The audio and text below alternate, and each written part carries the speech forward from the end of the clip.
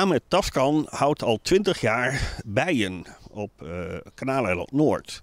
Maar sinds uh, corona vorig jaar uh, heeft dit een vlucht genomen. Hij is ook zijn eigen winkeltje begonnen hierachter. Het is ook online te bestellen, want iedereen zat thuis. Dus daarvoor maakte hij honing voor zichzelf en voor familie en vrienden. En ja, het heeft een enorme vlucht genomen tijdens corona. En we gaan uh, Ahmed daar wat meer over vragen.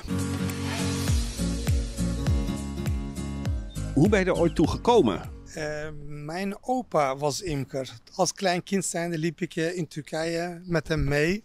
Dat vond ik zo fascinerend. Toen, ruim 20 jaar geleden, dat we dit huis hadden gekocht met deze relatief gezien grote tuin, dacht ik bij mezelf, nou, wellicht zou het eigenlijk mooi zijn om te kijken of we namelijk hierbij kunnen houden.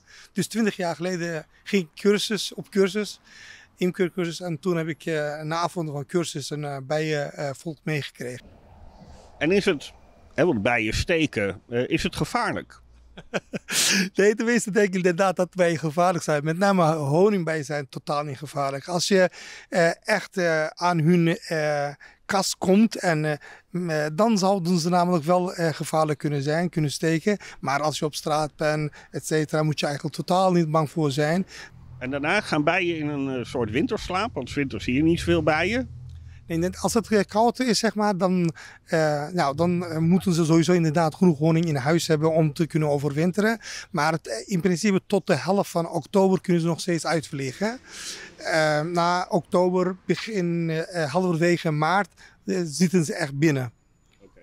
Dus je kunt ook niet, want je zegt ze moeten honing hebben, dus je kunt ook niet alle honing eruit halen. Er moet wel iets voor de bijen zelf ook overblijven. Nee, nee, inderdaad. Er moet meer dan genoeg eh, honing achterlaten, zodat ze eigenlijk sterker de winter uit kunnen komen.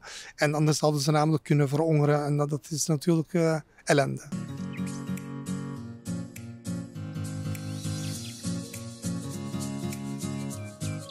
Dus in, uh, in Utrecht hoef je niet bij andere imkers langs om uh, te vergelijken van hoe smaakt jouw honing en hoe smaakt mijn honing. Nou, het verschil zou minimaal zijn, dat zou niet te proeven zijn.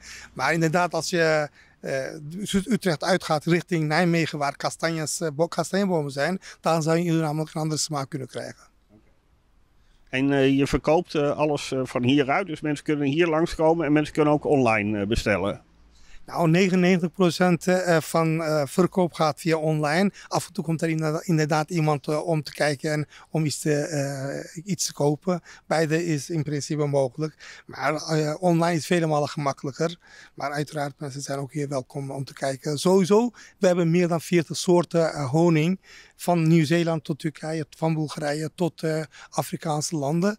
En dus vooral zo nog wat zouden ze hier kunnen komen kijken. En dan, ja, of dat iets is